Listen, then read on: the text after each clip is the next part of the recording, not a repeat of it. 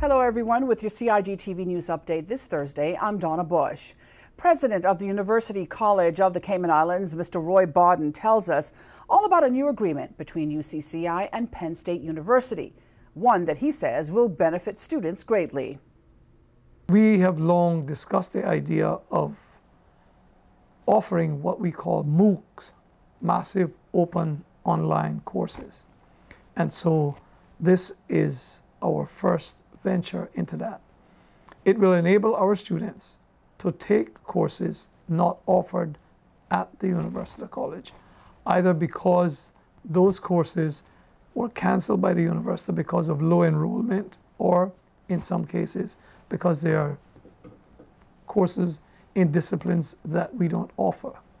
So they are of a great help to us, particularly to students who may be graduating and may be one or two credits short of the required number of credits for graduation at a time when these courses are not offered at UCC. If we had to run courses with two or three students, it would be hugely unprofitable for the University College. Now, if we have two or three students needing a particular course, especially an elective course, they can have access to it from the Penn State University at no loss to the University College. Mr. Bodden also talked about his goals for the University College. Because I want to build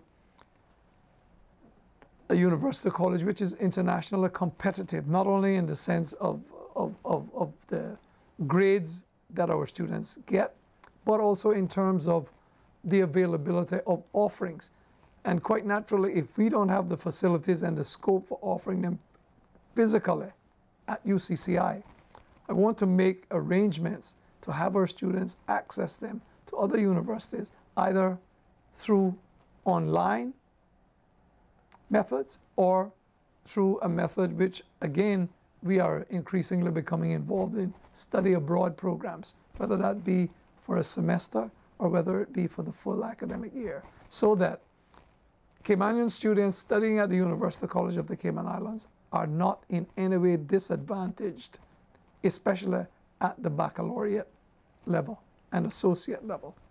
And now for a story about the on air anniversary celebrations of 13 years for the Radio Cayman show Youth Flex. Creator and producer James Miles from Government's Youth Services Unit tells us that in the beginning, the show was started for and by young people to get information out. Youth Flex has since transformed into a show about current affairs, pressing national issues and topics of interest to its young hosts. On the 13th anniversary on Wednesday, there was cake and a celebration looking back 13 years. Youth Flex airs every Wednesday from 4 to 5 p.m. on Radio Cayman, and it includes young people from schools across the island. Next week, current hosts will uh, celebrate another milestone with the 525th show. So far, 90 young people from ages 15 and older have been a part of the show in 13 years. Well, if you missed today's CIG TV news update, as always, you can get the details on our Facebook and YouTube pages. And we invite you to tune into Radio Cayman's For the Record and Talk Today shows. That's weekdays and week mornings. As always, I'm Donna Bush, thanking you for joining us, wishing you a wonderful evening, and hoping to see you back here again tomorrow. Until then, bye bye for now.